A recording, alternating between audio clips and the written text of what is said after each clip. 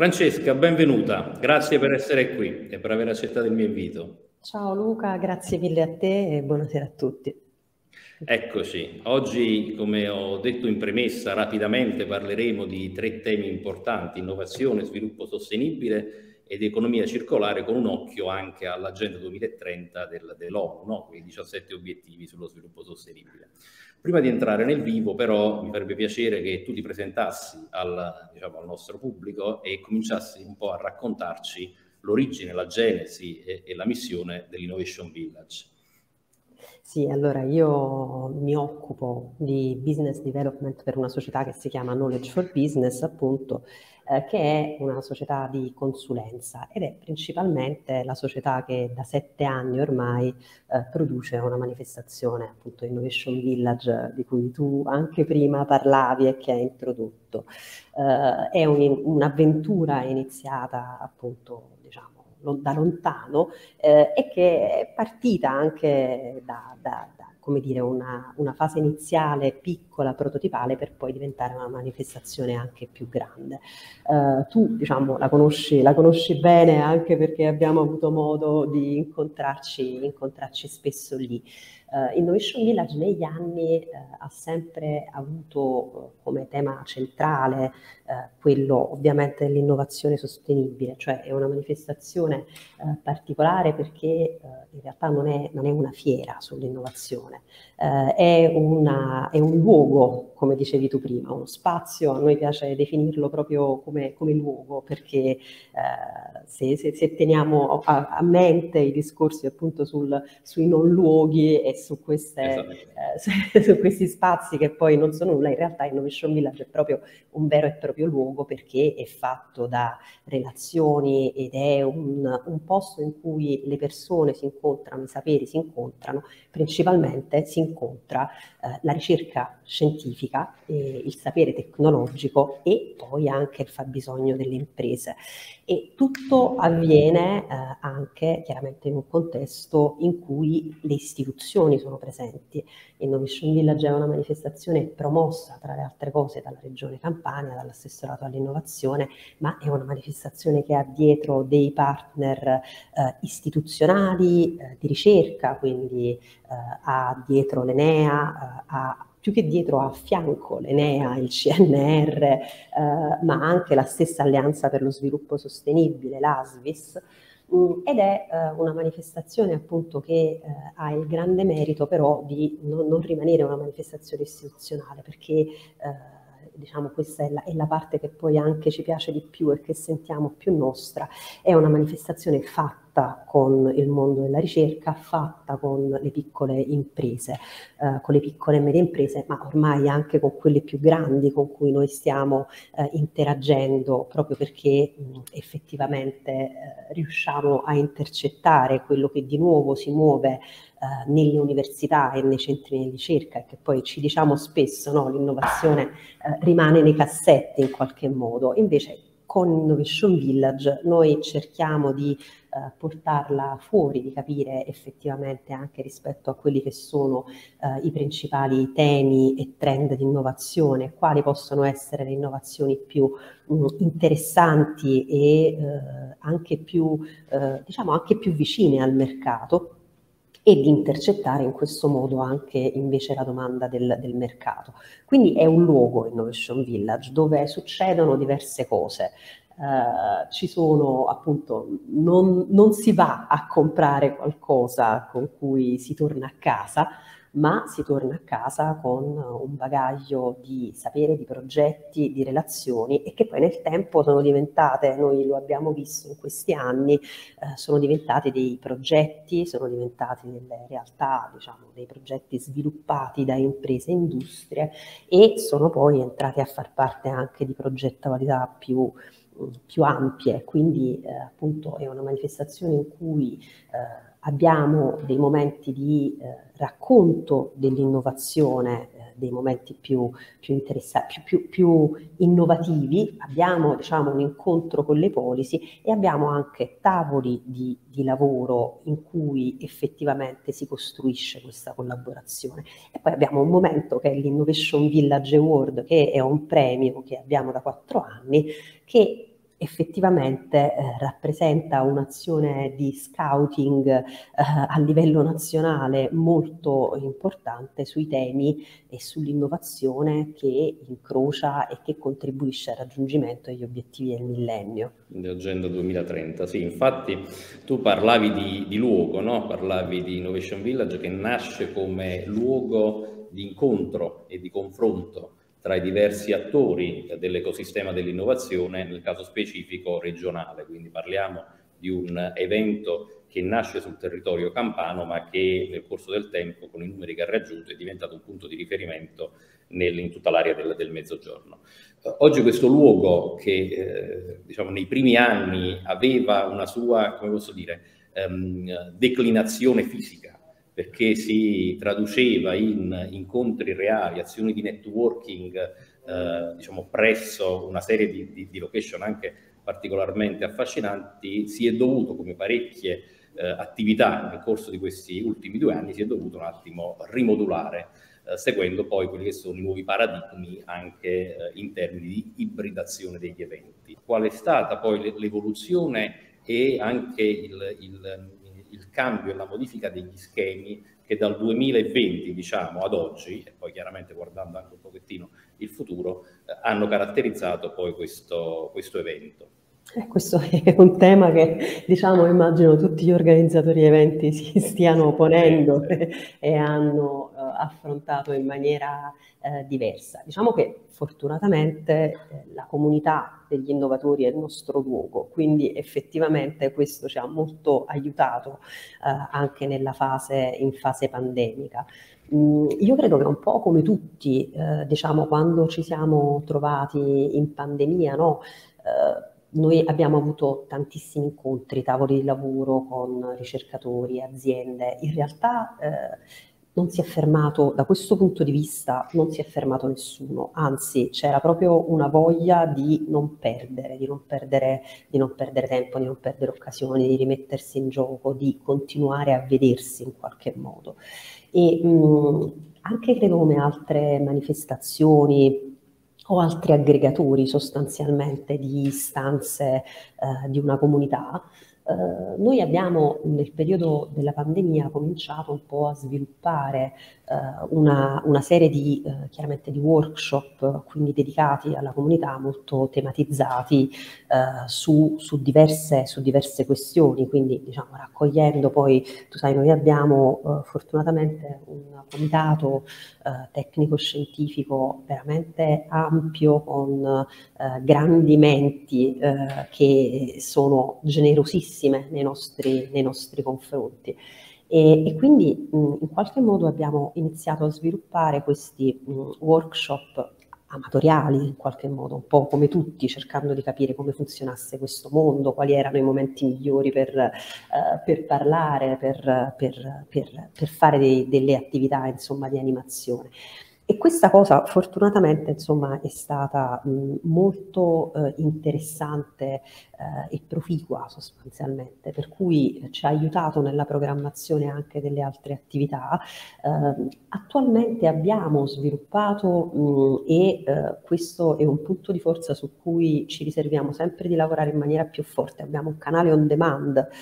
che da quel momento ha cominciato a svilupparsi eh, con, con più attenzione in maniera più concentrata, per cui ovviamente tutto quello che accade è accaduto nel digitale eh, e, anche in presenza è oggi consultabile ed è un momento anche importante poi per la formazione, insomma, da rivedere eh, e da utilizzare. E diciamo, l'anno scorso noi eh, abbiamo eh, ricominciato ad andare in presenza perché appunto l'edizione dell'anno scorso eh, io ero presente poi, diciamo. e tu eri presente ed eri molto, e come tutti eri molto felice cioè quindi sì, questa dimostrazione del fatto che il digitale è fondamentale è stato utilissimo è ormai una presenza per tutti quanti noi no? perché comunque è un qualcosa che ci permette di eh, approfondire e, e, di collegarci e di collegarci però appunto come tu eri presente effettivamente c'era proprio un desiderio di ritornare in presenza e di ritornare a vedersi. In quell'occasione eravamo ancora a porte chiuse, in pochi e abbiamo sviluppato, grazie anche a Federica Web Learning, un, uh, come dire, una vera, abbiamo creato una vera e propria regia di questo evento per cui diciamo, si è potuto mantenere con due appuntamenti e però poi la pandemia ci ha insegnato che questa comunità è vivace e che vuole essere molto protagonista. Per cui anche quest'anno eh, per noi Innovation Village è diventato un programma che eh, non si limita a due giornate, eh, ma diciamo sue, nella sua versione eh, più eh, centrale si struttura in due appuntamenti, uno primaverile e uno autunnale, quindi uno che ci sarà il 9 maggio e l'altro che ci sarà invece il 15 e 16 ottobre, il 25 e 26 ottobre e e poi, diciamo, in mezzo si sono creati una serie di, di, di, di, eventi proprio di comunità, per cui abbiamo fatto il 24 marzo il primo incontro eh, legato al vino e all'innovazione, che ci è proprio venuto dal territorio come, come, come richiesta, quindi con due, eh, con due realtà eh, come Creativitas e Malazè abbiamo messo in piedi questo focus che è stato veramente molto interessante e di cui poi faremo dei seguiti perché abbiamo intercettato una bella domanda e un settore molto interessante e man mano insomma eh, diciamo abbiamo acquisito altri appuntamenti, altri che faremo anche nell'ambito di Procida Capitale Italiana della Cultura, diciamo, portando il nostro contributo di innovazione e quindi di comunità di innovatori ai temi della cultura e appunto proprio della cultura, ne, nella linea di Procida di, della Tra l'altro, parlando di Procida, tu apri anche un altro tema che poi è, è, anche quello caratterizzante della puntata. Procida si candida, oltre ad essere capitale della cultura, un vero e proprio laboratorio di sostenibilità. Assolutamente. Quindi uno dei temi, quindi ritorna il tema della sostenibilità che è un po' il centro del, della puntata oggi, innovazione e sostenibilità come due elementi come due capisaldi. Sosteneva, sostiene per la verità Donald Clark, che è un imprenditore e anche diciamo, professore dell'Università of Derby di, eh, in Inghilterra, che l'innovazione è tale solo quando è sostenibile. Quindi eh, di fatto questi due termini dare nuovo, nuovi significati alla parola di, di innovazione. In, questo, in quest'ottica, in questa dicotomia tra il termine innovazione e sostenibilità, Innovation Village ha creato, come anticipavi tu, precedentemente nel 2019 un premio dell'Innovation Village Award sull'innovazione sostenibile eh, che è giunto alla sua, diciamo, credo quest'anno alla sua quarta edizione, ora, ora partiremo con la quinta, oggi abbiamo al termine della puntata un esempio, diciamo, il vincitore di ben due premi, perché poi ha vinto anche un premio, diciamo, della critica, chiamiamolo in questo modo. E, volevo fare una focalizzazione con te proprio sul, su sull'esperienza dell'Innovation Village World, quindi ehm, il, il, contributo dell'innovazione tecnologica alla sosostenibilità e all'economia circolare. Quindi se ci racconti qualche, qualche esperienza, anche alcune istanze che sono che, diciamo, provenienti dal, diciamo, dal, dal, mondo della ricerca, dal mondo dell'impresa, che hai avuto modo di intercettare in, in questi quattro anni. Sì, questa è stata una cosa molto interessante perché mh, noi abbiamo lanciato una call che chiaramente molto larga, no? quindi in,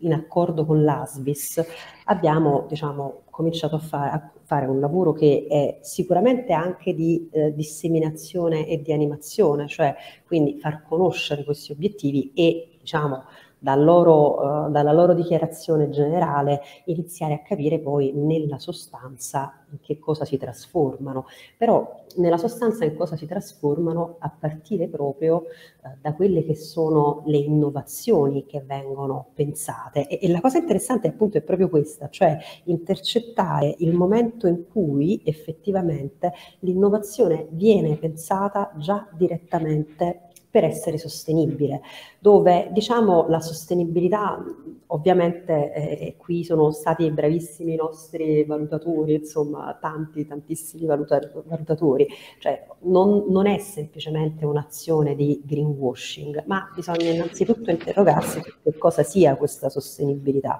E quindi ovviamente ogni ambito ha diciamo, un impatto di sostenibilità diverso, quindi abbiamo una sostenibilità ambientale, una sostenibilità sociale, cioè è una sostenibilità che si compone di mh, tanti tasselli alla fine e questa comunità degli innovatori effettivamente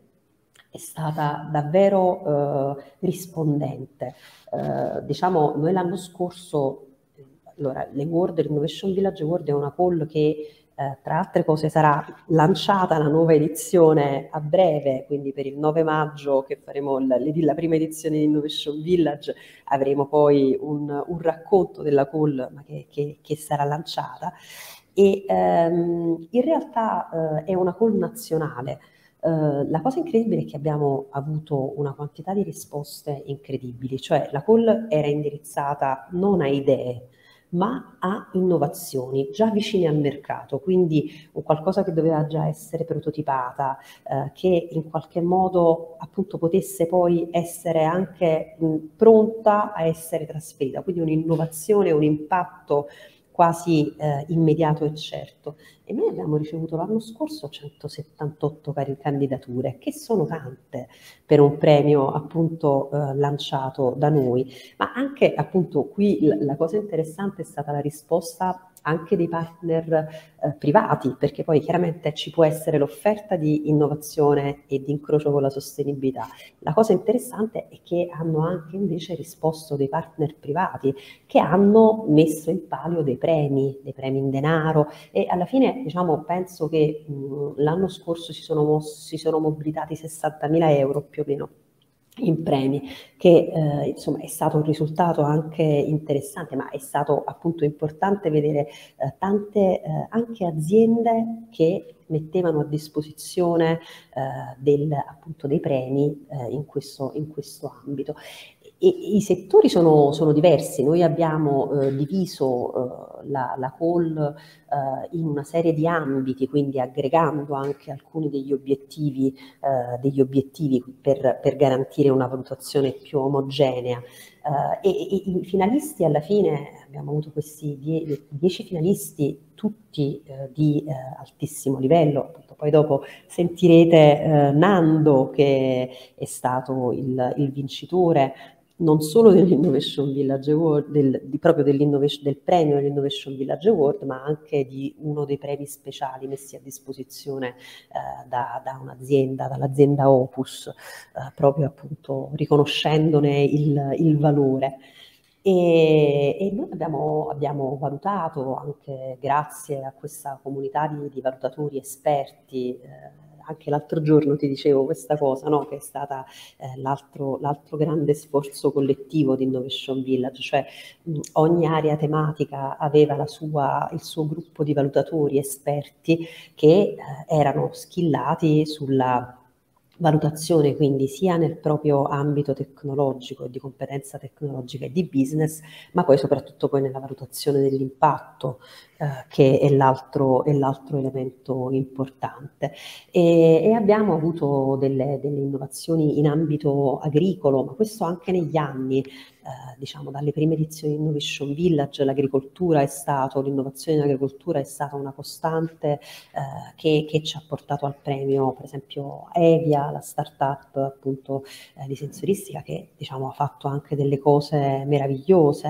eh, e poi anche quest'anno ce ne sono state degli altri in questo, in questo ambito. Si sono presentate appunto anche alcune ehm, aziende, cioè per esempio penso sempre in finale eh, alla presentazione di Solo Perpetua che è la matita, diciamo è una, è una sorta di joint venture tra due aziende ultra innovative e sostenibili che hanno utilizzato da un lato appunto la, la, il, diciamo, il materiale di scarto e le matite per farne una nuova e diciamo che non si consuma mai e dall'altro lato anche la gomma che sostituisce la plastica. Quindi, Ricordo anche le coltivazioni idroponiche. Le coltivazioni. Quindi era un altro dei progetti interessanti, tra l'altro che, che ha anche sfiorato un po', come posso dire, la rappresentazione artistica. Ricordo ancora quel video molto emozionante dove si vede l'evoluzione nel tempo attraverso coltivazioni idroponica. Se non sbaglio era il prezzemolo, se non ricordo male, era la, la, la cultura del prezzemolo che, che, sembra simulasse una danza nel tempo, nel momento in cui